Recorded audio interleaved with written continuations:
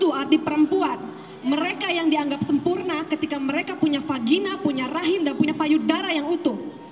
Apakah itu perempuan yang layak dipertanyakan keperawanannya untuk mengetahui apakah dia berharga? Apakah itu perempuan? Mereka yang bisa kau nikahi, kau nafkahi, lalu kau pukuli. Apakah itu perempuan yang selalu dianggap sebagai sumber aib, sumber dosa? Apakah itu perempuan?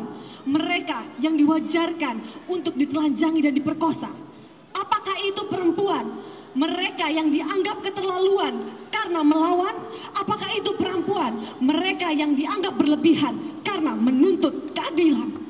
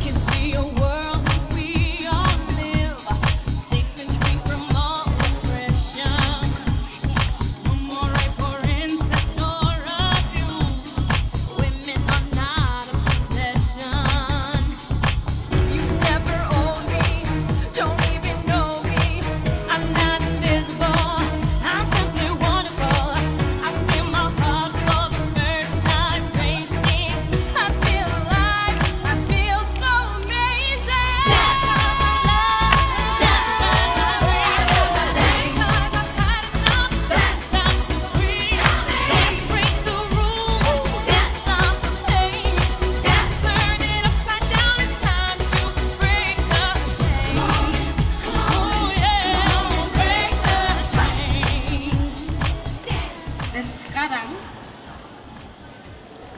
kalau teman-teman tahu apa itu One Billion Rising, berangkat dari satu statis- statistik yang dikeluarkan oleh uh, WHO bahwa satu di antara tiga perempuan pernah mengalami kekerasan dalam hidupnya.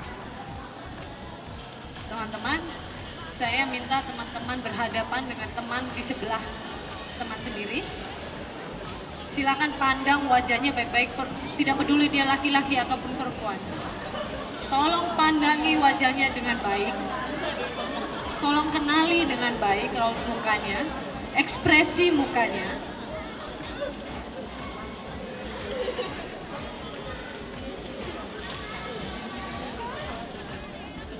Orang yang di sebelah anda itu bisa mengalami kekerasan oleh siapa pun atau bahkan pernah mengalami kekerasan dalam bentuk yang paling sederhana, pelecehan hingga yang paling kejam, perkosaan.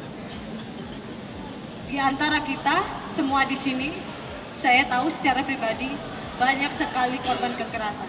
Secara pribadi saya mengenalnya. Dan itu bisa bisa saja orang yang baru Anda tatap, yang demikian baik wajahnya, yang demikian tidak bersalah wajahnya, itu pernah mengalami siapa pun bisa menjadi korban, teman-teman.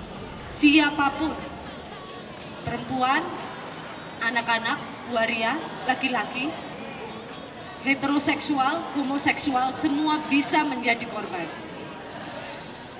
Itu sebabnya kita ada di sini, kawan-kawan, untuk menyatakan cukup sudah, tidak boleh lagi ada kekerasan terhadap perempuan. Karena kita semua lahir dari ibu seorang perempuan. Karena kita hidup dari dan bersama bersama perempuan. Adik perempuan, kakak perempuan, tante-tante kita, sahabat kita, kekasih kita, kawan kita, atau bahkan orang yang baru teman-teman kenal di sini.